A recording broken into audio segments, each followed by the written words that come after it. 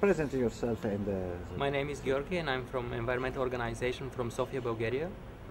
And we've been uh, working on the issue of water privatization for some time now, and we were quite interesting to quite interested to follow the Italian water movement. And we were trying to join the European water movement in general. So that's why I'm here, and I'm quite interested in all the discussions that are going on and all the proposals that have been made. And we're also uh, willing to take part in the European Citizens Initiative as well,